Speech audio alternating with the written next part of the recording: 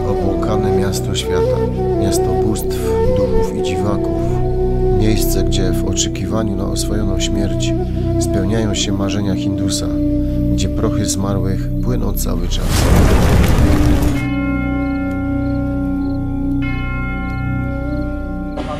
Jeszcze nie doszliśmy do, do świętej rzeki Gangi, ale już makabryczne obrazy za nami. Pierwszego pana do spalenia szykowali.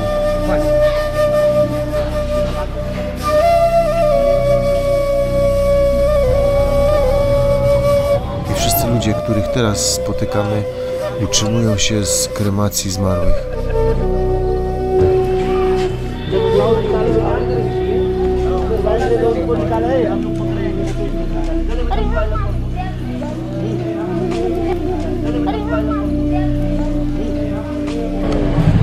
Tych małych budkach za mną mieszkają e, ci panowie, którzy obsługują te ceremonie pogrzebowe, czyli kremują zwłoki i z całymi rodzinami. Nie wiem jak to robią, ale mieszczą się. Czasami w takiej budce jest kramik i też tam w tym kramiku sobie śpi. Metr na metr, metr 20 na metr 20. kilku tysięcy lat nieustannie w tym miejscu trwa handel drzewem. Zamożniejsi to kupują sobie drzewo sandałowe z Nepalu, ale to tylko zamożniejsi. Wszystkie boczne uliczki, które prowadzą do Gangesu są dosłownie zarzucone drzewem.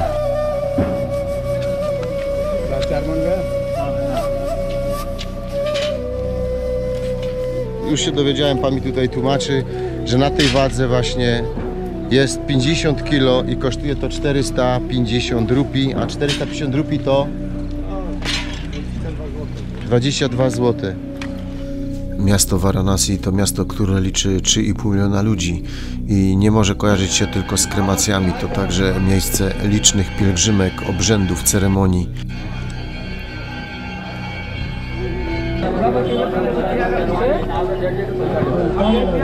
Varanasi jest najstarszym miastem świata. Ma ponad 3000 lat. W tym akurat miejscu, gdzie są kremowani zmarli, to są kremowane osoby, które zmarły nagle. Tam kawałek dalej, z 2 km dalej, to jest takie miejsce, gdzie spala się osoby, które odeszły z tego świata w taki naturalny sposób.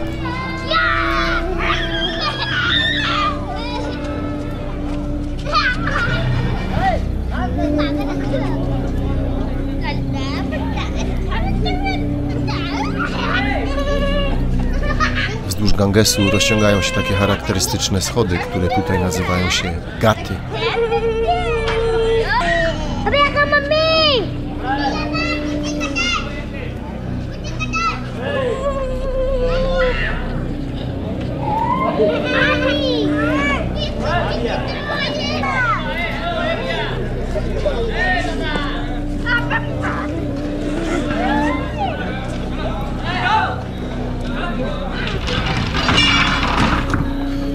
właśnie są Indie. W jednym miejscu dzieje się wiele rzeczy.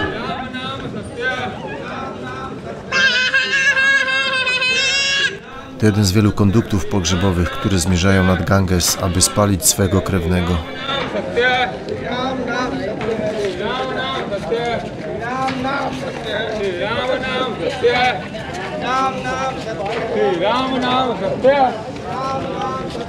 Ram Paleniem zwłok oczywiście w Indiach zajmują się wyłącznie ludzie spoza kasty Dailidowie.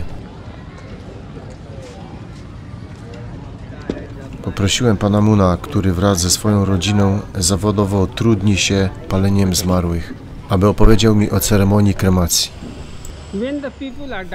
Jak ktoś umiera, ciało jego zostaje przywiezione po 6-7 godzinach na to miejsce spalenia. Zmarły zostaje najpierw umyty, później rodzina kupuje na targu masło, którym ciało zostaje nacierane. Dla mężczyzny kupuje się białą płachtę, a dla kobiety czerwoną. Tym owija się ciało. Rodzina konstruuje z dwóch bambusów nosze, na których zostaje położone ciało.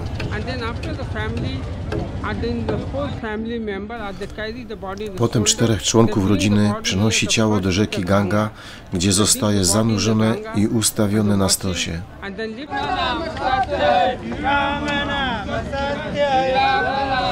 And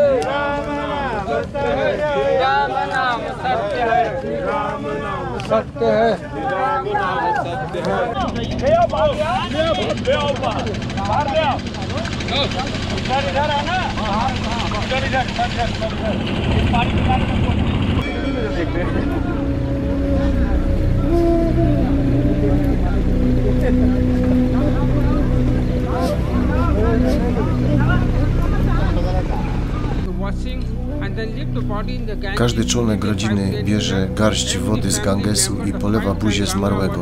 Ma go to chronić od złych mocy. Następnie rodzina kupuje drzewo na targu. Na jednego zmarłego potrzeba 360 kg. Moja rodzina przygotowuje stos, na którym zostaje położone ciało, a resztkami drzewa przykrywa się zmarłego. Matka lub ojciec goli go z włosów i brody, a najstarszy syn ubiera się w białe ubranie. Z świątyni przynoszą święty ogień, okrążają pięć razy ten stos ze zmarłym i podpalają go. Przez pierwsze trzy godziny palenia rodzina zostaje wokół niego. W ciągu tych trzech godzin e, nie spala się całe ciało, lecz tylko klatka piersiowa i tylna część bioder. Reszta ciała zostaje wrzucona do rzeki. Zastrzeżone jest przez Hindusów, że nie pali się niemowląt, mnichów zakażonych wścieklizną, ukąszonych przez żmije i kobiet w ciąży.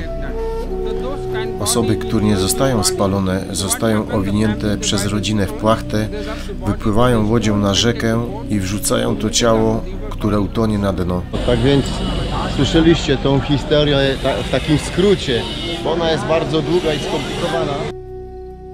Kobiety Hindusów nie mogą uczestniczyć w kremacji zwłok, gdyż są skłonne do płaczu, a według nich to przynosi złą karmę.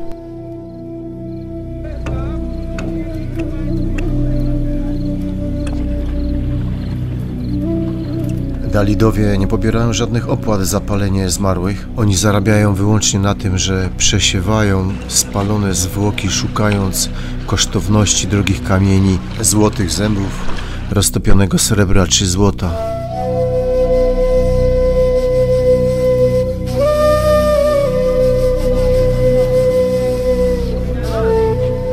Duch zmarłego zostaje uwolniony z ciała, kiedy pęka na stosie czaszka.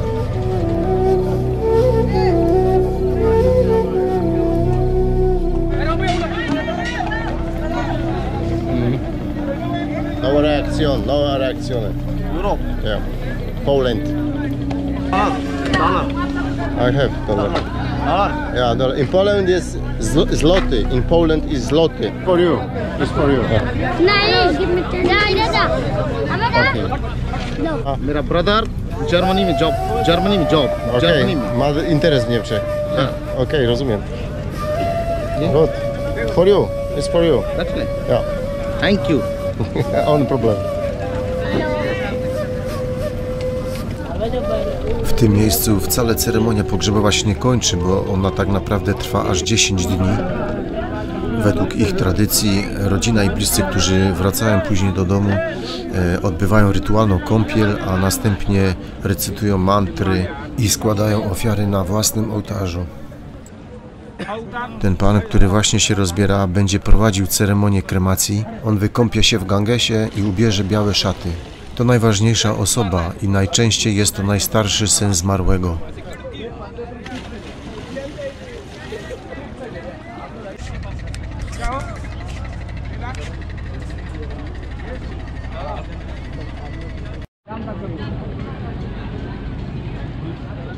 Każdego dnia w Varanasi pali się około 200 zmarłych.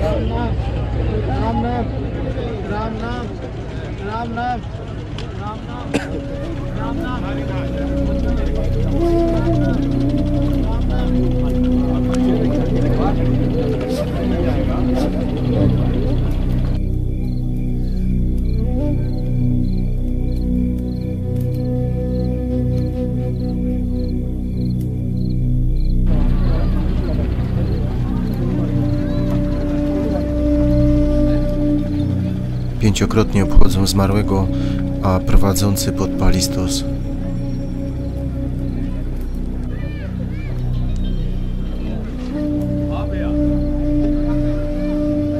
Syn, który właśnie podpalił swego ojca, jest pełen emocji. Oddala się od stosu, aby przeżyć to po swojemu. Po trzech dniach od kremacji prowadzący wraca zawsze w to miejsce, aby dokończyć ceremonię. Dla nas, e, ludzi zachodu, to trudne doświadczenie. Widzę to po minach wszystkich białych ludzi. Absolutnie charakterystyczny pozostaje zapach, jaki unosi się w powietrzu. Dym kadzidła, ale przede wszystkim zapach, słodki zapach palonego mięsa. Tylko nieliczni z Hindusów mają to szczęście, aby być skremowanym i wrzuconym do Gangesu.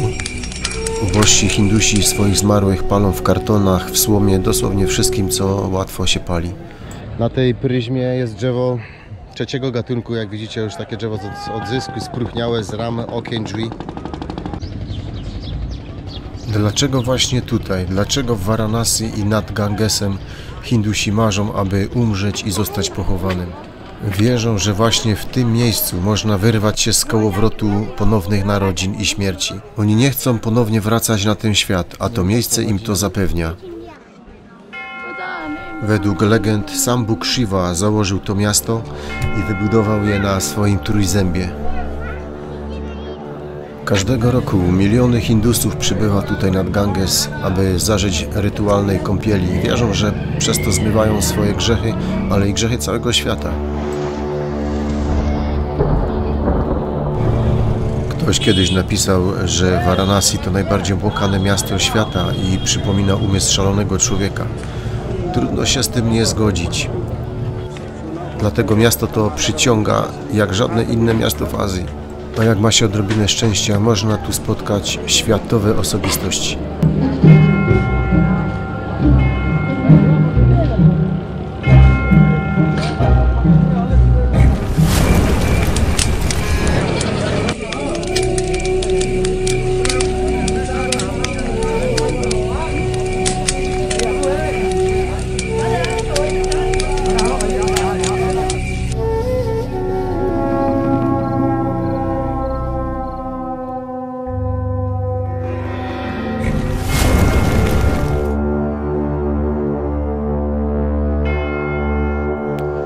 Ten budynek to remontowana poczekalnia na śmierć.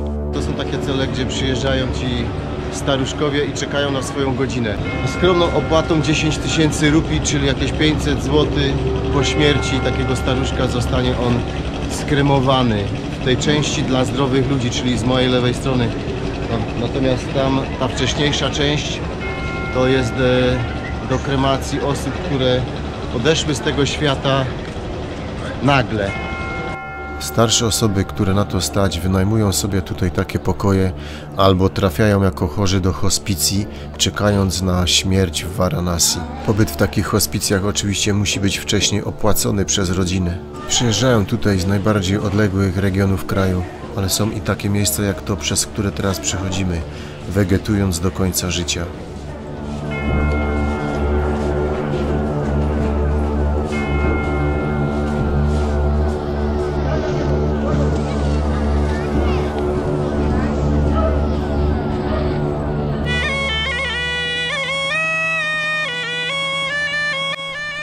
Przebywanie w takiej bliskiej odległości od kobry naprawdę robi wrażenie.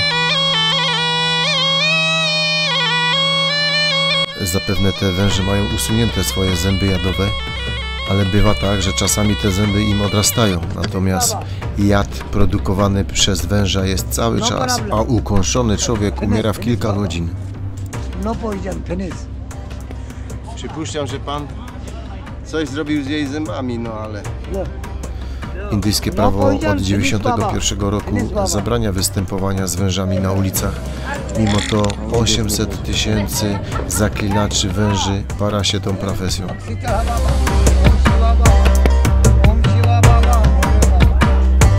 Indyjskie statystyki zawsze są powalające. Każdego roku w Indiach 300 tysięcy ludzi zostaje pokąsanych przez kobrę, a kilkanaście tysięcy z nich umiera. Indyjska kobra występuje w wielu krajach, ale tutaj w Indiach można ją spotkać dosłownie wszędzie, na polach, w rowach, a nawet w dużych miastach. Kobra w Indiach to oczywiście zwierzę święte. Legenda mówi, że kiedyś Buddha wybrał się na wędrówkę, zasnął na pustyni i to właśnie kobra poprzez swój kaptur osłoniła go od słońca Zaś w samym hinduizmie kobra jest uważana za manifestację Boga Wisznu. भोले जय शंकर भोले बाबा बैठ जा पुराने नाग कैचुल में का रखे अभी अभी कैचुल में है कैचुल में Poskramiacz węży oczywiście przekonuje przechodniów, że jest ona bezpieczna, nie należy się jej bać.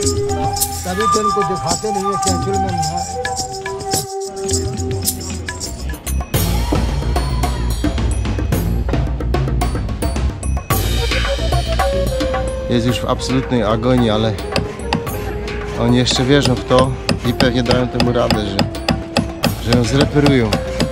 I od dłuższego czasu siedzą na schodach i strasznie się kłócą i to wszyscy na tego jednego.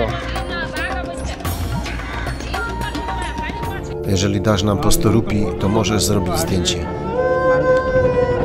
Święci mężowie, agori, sadhu, zaklinaczy węży, fakirzy. Tu można spotkać wszystkich w jednym miejscu. Ci panowie to święci mężowie sadu. Sadu są uważani za świętych ludzi. To tacy uduchowieni panowie, którzy podobno mają nadludzkie moce. Tutaj w Indiach są oni absolutną częścią kultury Hindusów. Za ofiarowanie im jałmużny można oczywiście zrobić im zdjęcie. Łącznicy z bóstwami, cudotwórcy czy hosztaplerzy. Często ludzie zadają sobie to pytanie, aby zrozumieć, o co tak naprawdę z nimi chodzi. Być może to dobry sposób na ucieczkę od swojego poprzedniego życia.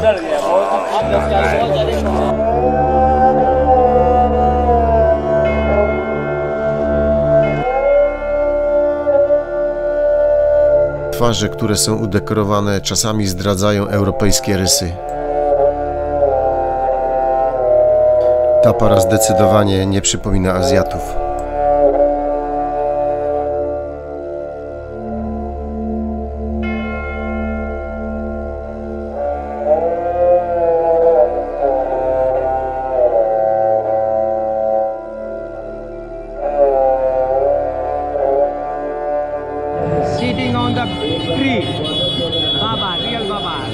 Święty mąż, baba, on jest mnichem. Tu na Gatach odbywają się różne ceremonie, a uczestnicy wrzucają do Gangesu różne cenne rzeczy. Nie brakuje też takich, którzy od razu nurkują i wyławiają to.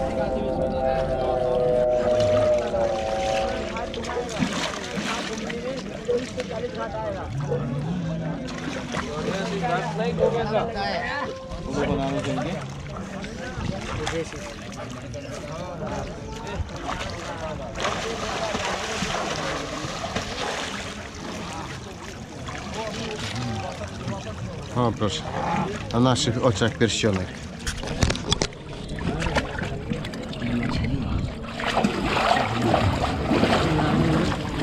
I pieniądze. No tego się nie spodziewałem nad Gangesem, że są i poszukiwacze skarbów. Jedni rzucają swoje święte ofiary, a inni je pozyskują i pieniądze znajdują. Któraś z rzędu moneta. Pan te wszystkie monety bierze do buzi.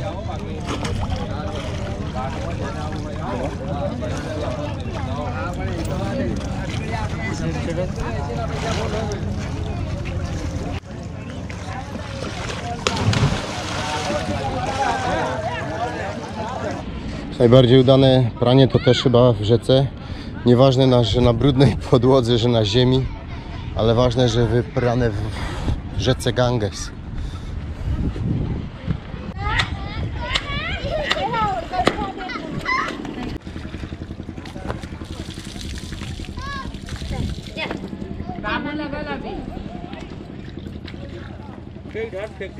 Przechodząc obok Gangesu można mieć zawrót głowy. Tutaj kremacja, obok inni robią pranie. Kawałek dalej zaślubiny albo pan, który właśnie kąpie bawoły. W świętej rzece. Tu się wszystko dzieje w jednym miejscu.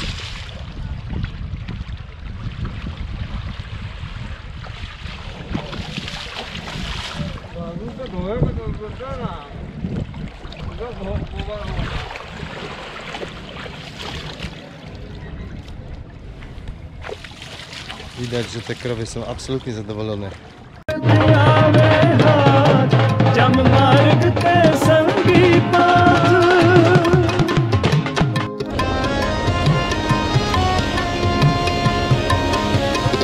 कोट मनोरथ आवे हाथ जम मार्ग के संगी path Od czasów tradycji kremacji w Varanasi każdego dnia wieczorem nad brzegiem Gangesu odbywa się ceremonia religijna w intencji zmarłych dusz.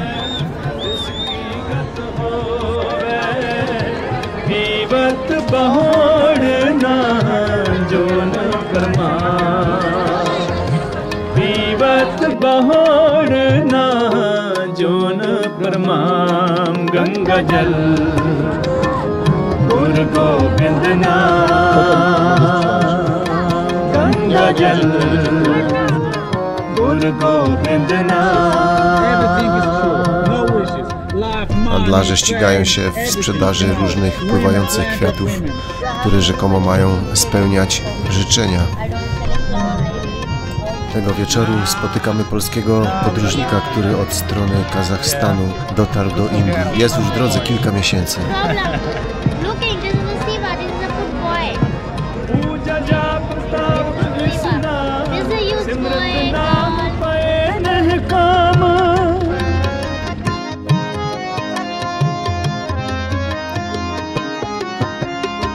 पूजा जाप ताप स्नान सिमरत नाम पाए नह काम जो सिमरे W miejsce świętej ceremonii schodzą się już ludzie, będą ich tutaj tysiące. Gangesem zaś w to miejsce przypływają setki łodzi.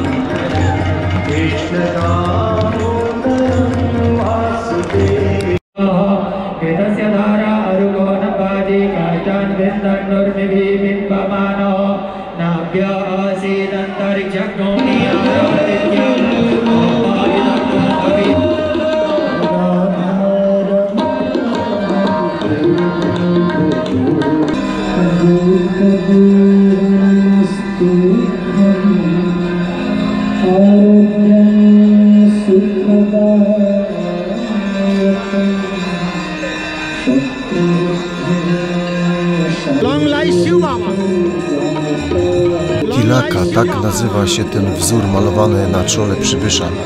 Tilaka to wyraz szacunku i honoru. Pasta, którą nanoszą na czoło jest zrobiona z drzewa sandałowego, a wyznawcy szywy, tak jak ten pan, dodają popioły ogniowe po kremacji. W świętych księgach hinduizmu jest napisane, że tilaka to znak powodzenia, że czoło bez niej podczas jakiejś ważnej uroczystości jest jak serce bez miłosierdzia, jak fontanna bez wody czy kwiat bez zapachu. you are.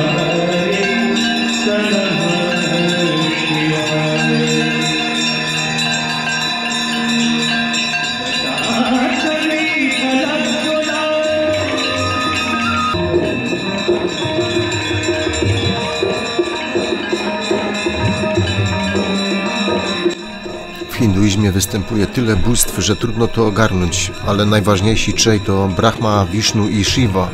Brahma jest stworzycielem, Vishnu opiekunem, zaś Shiva absolutny niszczyciel wszechświata. Shiva ma 1008 imion, przedstawiony jest też m.in. jako mistrz tańca, dobroczyńca, głowa rodziny. To zbyt trudne, żeby to wszystko ogarnąć.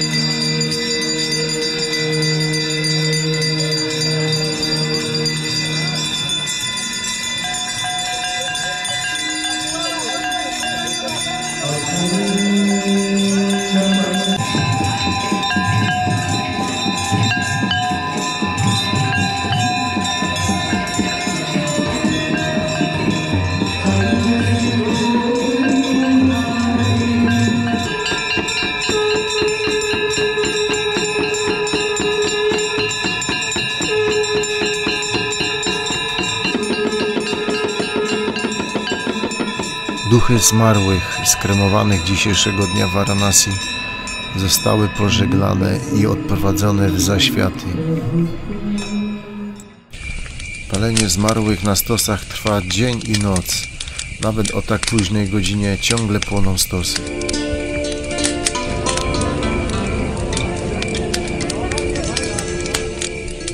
Poranny widok na miasto z hotelowej restauracyjki.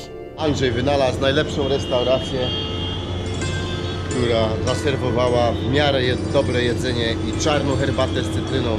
Po 10 dniach nareszcie Dziś z Andrzejem postanowiliśmy wypożyczyć łódź, aby popływać po Gangesie, a przede wszystkim, żeby dotrzeć do Wyspy Śmierci, która znajduje się naprzeciwko Varanasi.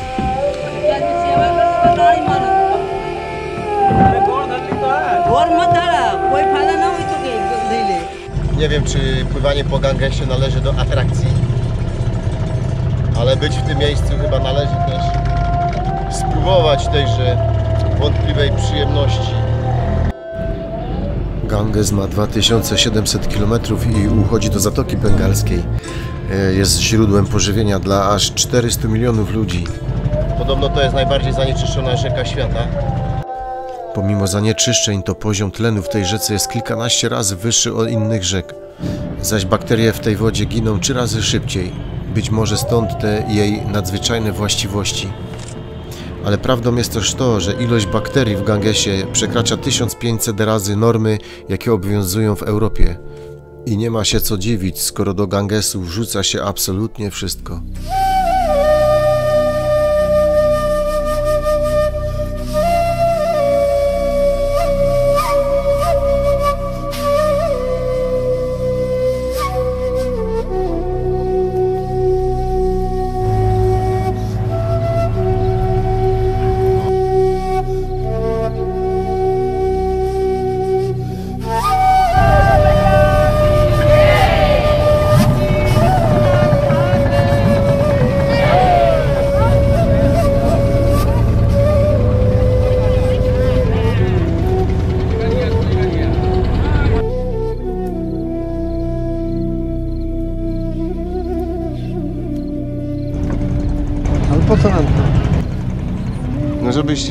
Życzenie y, wypowiedział. Rzeczny handlarz próbuje nam sprzedać pływające kwiatuszki, które po zakupieniu można puścić na wodzie, wypowiedzieć życzenie do świętej bogini Gangi. Podobno się spełnia. Tak wierzą.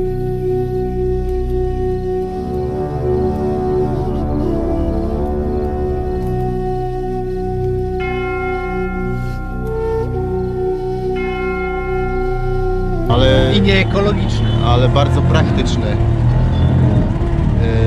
Mogliby to trochę unowocześnić. Kwest, technikę. kwestia sporna u nas też y, utylizacja zwłok staje się coraz bardziej popularna. Czyli kremacja, patrz.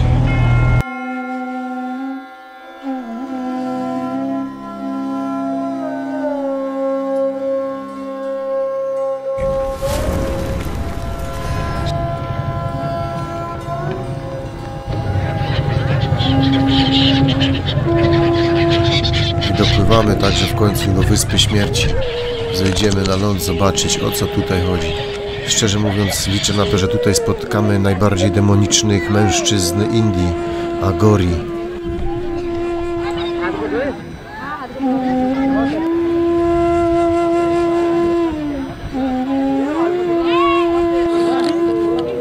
Tak, na trzeciego. Ja na trzeciego. No, no! Nie no, zrzucił dziewczyny.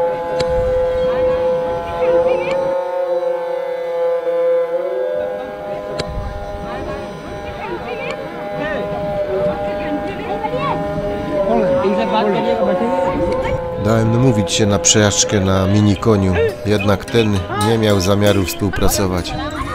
Chciałem powiedzieć, że nie będę się wyżywał na koniu, ale on w ogóle nie ma PS-u. W ogóle nie ma przyspieszenia.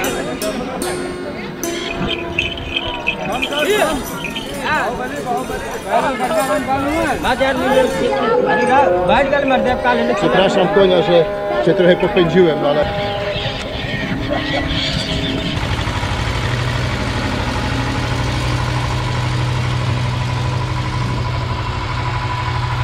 Zaintrygowała mnie ta pływająca maszyna do oczyszczania Gangesu, więc chcę ją zobaczyć z bliska.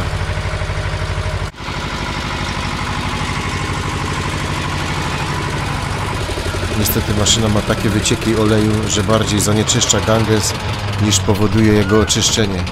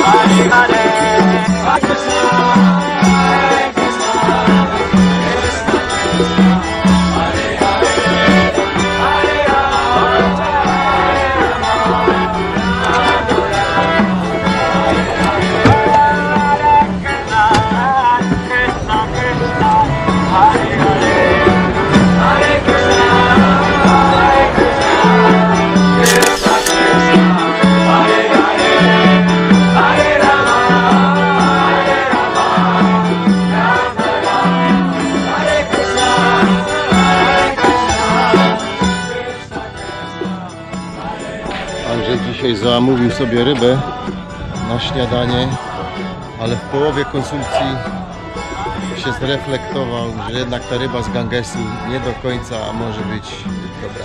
Z Gangesu ryba jest wątpliwej jakości. No nie no, muszą być dobre, wy macie wszyscy figury jak modele, szczupli ludzie. Jest okej. Z tej łódki już niewielka pociecha będzie. Panowie nie puszczają, co jeszcze do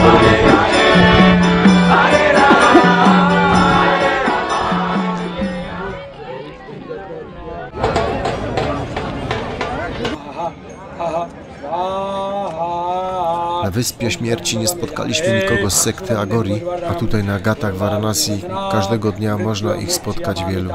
Swaha, swaha,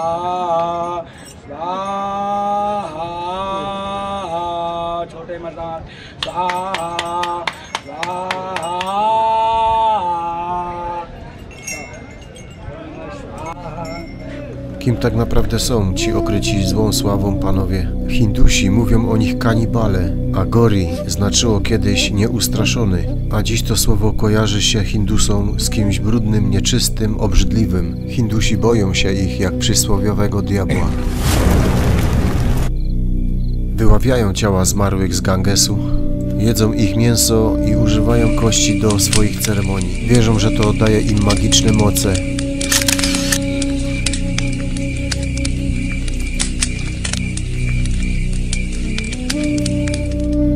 Mimo ich odrażających praktyk cieszą się szacunkiem. Na swoim koncie podobno mają tysiące uzdrowionych ludzi z trądu. Ten biały kolor na ciałach Agori to jest popiół z stosów kremacyjnych, z którego robią papkę nacierając się.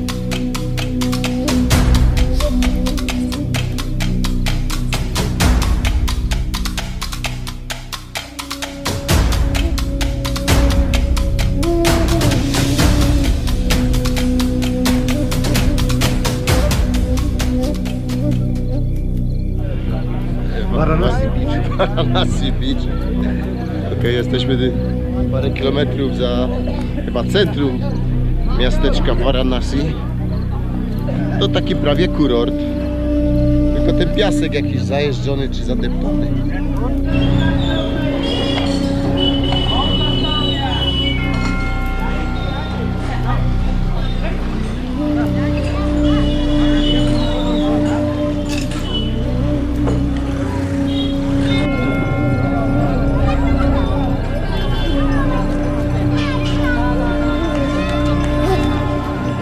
Varanasi ze względu na swoją specyfikę często jest określane jako miasto ekstremalne.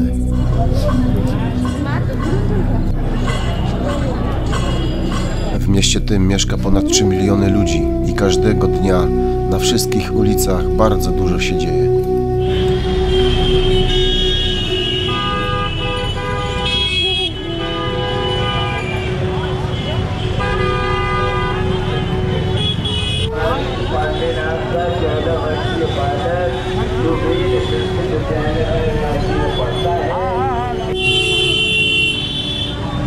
Powiedzieć, że te siedzenia są tak wąskie, tak małe, że na nasze europejskie biodra, biodra mocno się ściskamy, nawet siedzimy trochę pod kątem. Powoli będę kierował się do Polski. Po powrocie trzeba będzie zrobić wszystko, żeby w następnym wcieleniu nie urodzić się w Indiach. Nie wiem jak zamierzasz to zrobić, ale Życzę Ci powodzenia. Podobno po powrocie z Indii człowiek nie